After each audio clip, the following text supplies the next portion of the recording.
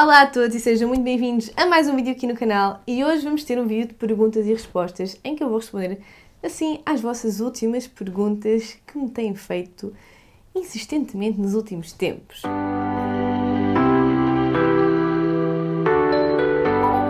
Começarmos com o vídeo, não se esqueçam de me seguir no Instagram. Através do Instagram vocês podem participar em vídeos como este, porque normalmente é através da plataforma que eu peço perguntas para este tipo de vídeos, por isso sigam-me no Instagram, meu username é Inês Ribeiro Oficial muito simples. E é claro, subscrevam também o canal se vocês gostam de apoiar o meu trabalho. Não se esqueçam também de deixar um gosto e ativar as notificações para estarem sempre a parte quando eu coloco um vídeo novo aqui no YouTube. Agora sim, sem mais demoras, vamos passar às respostas às vossas perguntas que eu sei que é aquilo que vocês mais querem saber e hoje vou responder a tudo. Eu, através daquela caixinha das perguntas que deixei no Instagram, no Insta Stories, eu consegui ter mais ou menos uma noção do que é que vocês tinham mais curiosidade e, portanto, eu vou responder a tudo agora, por isso Vamos lá. Assim, uma pergunta que me fizeram bastante e eu fiquei um pouco surpreendida por me estarem a questionar neste sentido foi uh, relativamente a se eu estava feliz. Então perguntaram-me: sentes que estás numa fase feliz e realizada?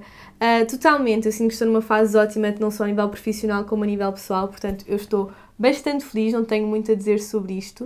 Uh, acho que quem me acompanha, especialmente no Instagram, vê que eu estou numa fase assim bastante boa porque pronto, através dos Insta Stories são coisas assim mais orgânicas e naturais e vocês conseguem também ter outra percepção. Às vezes aqui no YouTube um, os vídeos são mais profissionais e não transparece se calhar tanto essa felicidade, mas sim, eu estou a passar uma fase muito boa a vários níveis na minha vida, por isso estou muito feliz. O que consideras que mudou em ti em termos de mentalidade ao longo dos últimos anos? Eu acho que uma coisa que mudou muito em mim ao longo dos últimos anos foi a forma de eu ver as coisas. Eu de há uns anos para cá comecei a ver as coisas de outra forma, sabem? Uh, comecei a ver sempre o copo meio cheio e é um exercício que eu tenho feito há tantos anos que já já não consigo ser de outra maneira. Às vezes até as pessoas que estão à minha volta dizem que sou um bocadinho irritante de ver sempre o lado positivo das coisas e de ver sempre o lado bom de tudo, porque eu sou assim, eu acho que já nem consigo ser de outra forma. A verdade é que eu vejo sempre o, um lado bom em tudo o que acontece. Sabem aquelas pessoas que, que têm sempre um problema para cada solução e que vem sempre um lado mau, mesmo quando acontece uma coisa boa, eu sou exatamente o contrário. Pode-me acontecer uma coisa má, mas eu vou sempre ver o lado bom uh, dessa coisa. E foi algo que eu mudei nos últimos anos. Não que eu fosse uma pessoa tendencialmente negativa, porque acho que nunca fui, mas este exercício faz-se com o tempo e o facto de conseguirmos começar a ver o copo meio cheio vai fazer com que ao longo do tempo consigamos ver sempre o copo meio cheio e nunca ao contrário. E acho que foi assim uma coisa que mudou muito na minha cabeça nos últimos anos, que é aceitar as coisas, se der para melhorar ótimo, se der para resolver ótimo, se não der está resolvido, bola para a frente, ah, não perco muito tempo a pensar sobre os problemas, perco mais tempo a pensar como resolvê-los, se conseguir resolver ótimo, se não conseguir a vida continua e eu acho que sim, acho que foi essa a minha maior mudança uh, nos últimos anos, em termos de pensamento. Outra pergunta que vos suscitou muita curiosidade foi relativamente às minhas viagens. Como organizas as tuas viagens? Voos, hotéis, gastos na viagem, etc. Eu acho que esta questão se deve mais nos últimos tempos eu ter feito uma, algumas viagens e ter viajado mais, por isso eu compreendo uh, que vocês tenham, tenham esta dúvida. Então, relativamente aos voos, eu vejo através do Skyscanner, eu pesquiso uh, mais ou menos as datas que quero ir para ver em que dias é que está mais barato, etc. Uh, portanto, os voos eu marco através do Skyscanner e depois compro, ou mesmo na companhia. Eu acho que não vou comprar através do site, eu vejo no Skyscanner e depois compro uh, na companhia. Depois, hotéis, normalmente também vejo sempre no Booking, eu não tenho muita tendência a ficar em Airbnbs, confesso.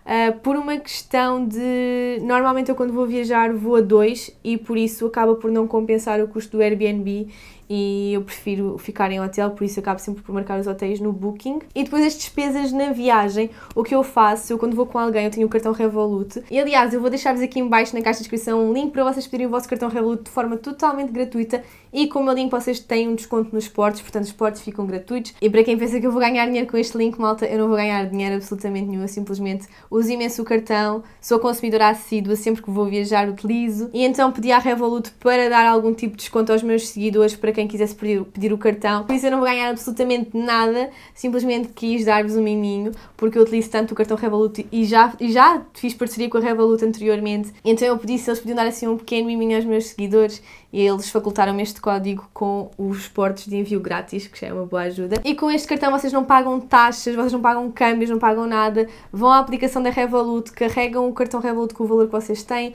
o dinheiro vem da conta para o cartão de forma imediata e, portanto, o que eu faço é eu levo sempre o meu cartão Revolut, carrego na aplicação o valor que quer ter disponível para a viagem e depois vou gastando. Se não gastar tudo, ótimo, fica lá para a próxima viagem, ou então eu posso fazer, uh, posso voltar a acreditar a minha conta, mas eu nunca fiz isso. Uh, deixo sempre para a próxima viagem. Ou então, se eu precisar acrescentar mais alguma coisa, muito rápido a aplicação e volto a carregar e imediatamente o dinheiro fica disponível. Eu sempre, sempre, sempre a Revolut e é mesmo uma dica que eu vos dou e ajuda-me ainda a poupar bastante uh, em viagem, porque não tenho taxas, não, não pago para levantar dinheiro, não pago para pagar em ATMs, não, não se paga nada, então eu aconselho totalmente a terem o vosso cartão Revolut, por isso vou-vos deixar aqui o link para pedirem o vosso com os portes de envio completamente gratuitos. Agora, um bom hábito e um mau hábito que tenhas. Então, um bom hábito eu acho que é dormir cedo e acordar cedo. Eu faço sempre aquelas horas de sono que eu sinto que são necessárias para mim, por isso eu acho que é um bom hábito. Uh, não sei, eu funciono também melhor se acordar cedo. Eu sinto que quando acordava tarde, ou, eu nunca acordei muito tarde, mas ali a meio da manhã, tipo 9, 10 horas, parece que já me cortava o dia, por isso eu acordo cedo, mas também me deito cedo. Acho que é o velho ditado, deitar cedo e cedo erguer dá saúde já não me faz crescer, mas pronto, faz-me começar o dia com outro tipo de disposição. E um mau hábito que eu tenho, malta, um, eu procrastino muito. Eu ainda procrastino muito, eu tento uh, controlar isso, mas eu procrastino, a sério. Continuo a procrastinar, não tanto como se calhar antigamente, porque também já ganhei outra rotina, mas eu procrastino. Eu penso sempre, ok, ainda tenho 5 minutos, ok, são mais 5. Quando eu por mim já passou meia hora e eu já estou a fazer as coisas de forma mais acelerada. E então, pronto, eu procrastino um bocadinho, confesso. É um mau hábito que eu tenho. Eu adorei esta pergunta. Enquanto youtuber, o que tens a dizer às pessoas que dizem que o teu trabalho é básico? Então, o que eu tenho a dizer a essas pessoas é muito simples. Uh, Preocupem-se com o trabalho delas e deixem os outros fazer o trabalho deles, porque eu tenho uma rotina de trabalho, eu pago os meus impostos, eu sustento-me, por isso este trabalho não é básico. Nenhum trabalho é básico se vos der sustento, malta, seja ele qual for. Uh, não é básico. Se vocês tiram o vosso sustento do vosso trabalho, nenhum trabalho é básico. E sinceramente, eu acho que básico é esse tipo de pensamento, porque hum, se as pessoas, em vez de perderem tempo a apontar o dedo, e desculpem lá estas mudanças de luz, mas eu, detesto estes dias, eu detesto gravar nestes dias, mas olhem, vamos só aceitar que dói menos. Mas pronto, como eu estava a dizer, se as pessoas perdessem menos tempo a apontar o dedo e a julgar e tentassem perceber um bocadinho mais como é que isto funciona, porque ninguém nasce ensinado um, a, a profissão do criador digital é uma nova profissão, há muito por explicar, muito por explorar e há muita gente que ainda não compreende efetivamente, mas é mais fácil nós às vezes perguntarmos e tentarmos uh, ver as nossas dúvidas respondidas do que propriamente apontar o dedo. Eu sinto que é muito fácil apontar o dedo hoje em dia, por isso, o que eu tenho a dizer a essas pessoas é para se preocuparem um bocadinho com a vida delas e deixarem a vida dos outros uh, de lado, porque assim vão ser muito mais felizes e provavelmente muito mais bem-sucedidas uh, se preocuparem com o trabalhinho delas e largarem dos outros. Outra pergunta que me fazem bastante é: achas estranho seres abordada na rua? Eu tenho que confessar que realmente acho um bocadinho estranho. Uh, uh, já, se passou, já se passaram alguns anos, mas eu acho que é daquelas coisas que nunca me vou habituar. Eu fico sempre muito envergonhada. Não sou de todas das pessoas que, que dizem Ah, eu adoro que venham falar comigo, eu adoro.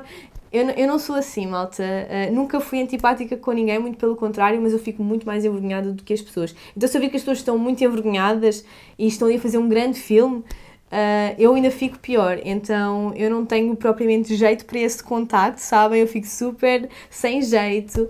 E, e, e, mesmo assim, passados esses anos todos, eu acho um bocadinho estranho, confesso. Eu não me consigo habituar. Agora, malta, a pergunta das perguntas. Já sabia que tipo 80% destas perguntas iam ser sobre este tema. E algum dia eu tinha que responder aqui no YouTube, não é? Portanto, a derradeira pergunta: Tens namorado? Sim, eu tenho namorado. Eu acho que quem me segue no Instagram já sabe, até porque eu já partilhei uma fotografia. Um, por isso, sim, não há muito a dizer sobre isto. Agora, outra pergunta que veio assim um bocadinho de arrasto desta anterior foi como conheceste o teu namorado? Então, nós conhecemos num casamento, nós éramos ambos convidados desse casamento e tínhamos amigos em comum. Então, conhecemos no casamento. Aliás, eu acho que nós já nos tínhamos conhecido antes, mas eu nem me lembro, eu não me lembro muito sinceramente, não faço mesmo ideia. Uh, por conversas que tivemos, já tivemos juntos noutras ocasiões, mas realmente não me lembro, não me lembrava dele. Eu sabes disso que sou má com caras, eu sou mesmo. Então pronto, foi assim, estava tudo no casamento, tudo a divertir-se, a malta jovem toda junta e depois até começámos assim a falar mais uh, depois, na semana seguinte, uh, e foi assim, depois começámos a falar e tal. E foi uma coisa muito orgânica, muito natural. Outra pergunta que também recebi uh, de algumas pessoas, não exatamente da mesma forma, mas um, dentro deste contexto, como organizas a tua vida, casa, cuidar da cadela, trabalho, namorada, etc. Então, malta, é assim, eu vou ser muito sincera, eu sou muito privilegiada com o trabalho que tenho, porque eu consigo fazer os meus horários, salvo quando tenho uh, algum compromisso ou uma reunião que não seja só dependente de mim, aí sim tenho que cumprir com horários, mas, exceto nessas situações, eu tenho horários bastante flexíveis, não é? Eu, se quiser ir almoçar com uma amiga, eu posso, eu, se quiser ir lanchar com uma amiga, eu posso, uh, por isso.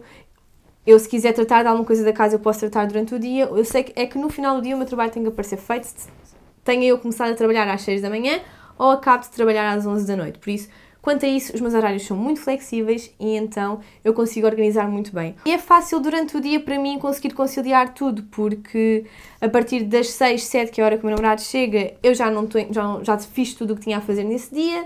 Também, por exemplo, as coisas da casa, eu à hora de almoço, eu não preciso de uma hora para almoçar, eu como estou em casa, como se calhar em 10, 15 minutos e depois tenho uma hora para tratar de coisas da casa. Por isso é, é muito simples, eu sinto-me muito privilegiada neste sentido e podias dizer, ah, é super difícil, mas eu não acho que seja. Eu acho que às vezes o difícil é eu desligar um bocadinho do meu trabalho Uh, no sentido de estar com o telefone, mas de resto eu consigo estar com toda a gente, eu consigo dar atenção a toda a gente. Sinceramente, acho que é muito pior para aquelas pessoas que trabalham das 9 às 18, fora de casa, que nem sequer trabalham perto uh, do sítio onde moram e que têm que gerir muito mais coisas. Porque sinceramente eu durante o dia consigo me organizar super bem e fazer tudo aquilo a que me comprometi nesse dia. E é raro o dia em que termino o dia e penso, epá, não fiz isto. Não, por acaso nisso uh, eu acho que tenho bastante facilidade de organização e, e pronto. Eu não sei se vocês queriam uma resposta assim um bocadinho mais, ai, é super difícil, mas a verdade é que eu acho que não é. Outra pergunta que foi assim das mais perguntadas Uh, e que já há algum tempo que me perguntavam. Eu pensava que já tinha respondido a isto, se calhar não respondi ou se respondi nem toda a gente viu. Mas perguntaram muito se o meu apartamento era comprado ou alugado.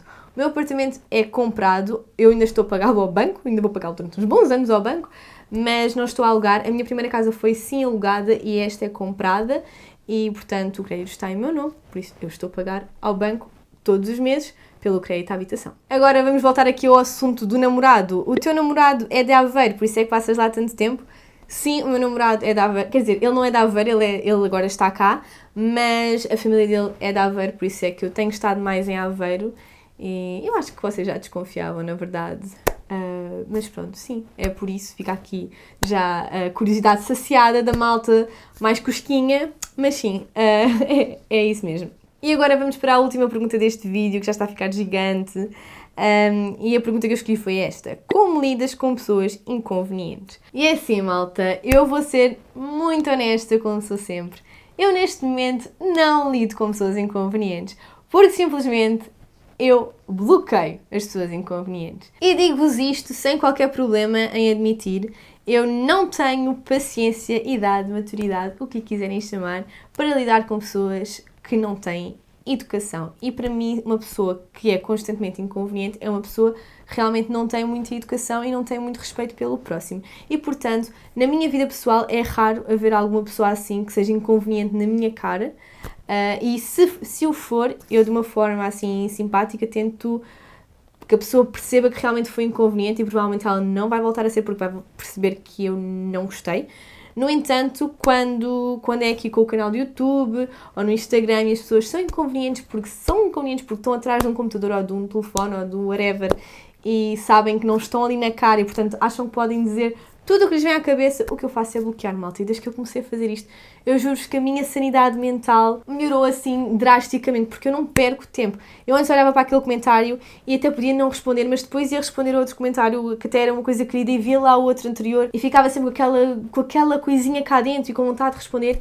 E então, simplesmente, quando a pessoa é inconveniente, eu apago. Se a pessoa insistir, eu decoro. Eu normalmente eu decoro os usernames, por isso. Se eu vir que a pessoa insiste uh, e se eu reconhecer o username, eu bloqueio aquela pessoa.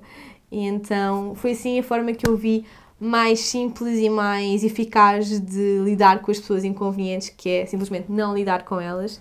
Eu normalmente dou sempre uma oportunidade, às vezes duas, três. Se a pessoa insistir, eu bloqueio, porque não sou obrigada. Graças a Deus não sou obrigada.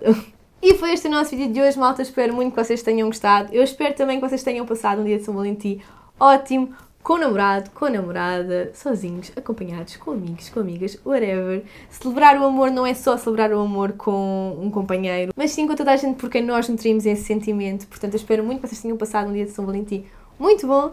E é isso, malta. Se vocês gostaram deste vídeo, não se esqueçam de deixar um gosto, seguir-me no Instagram para estarem sempre a parte de tudo, subscrever ao canal, ativar as notificações. E agora sim, nós vemos no próximo vídeo. Um grande beijinho a todos. Tchau!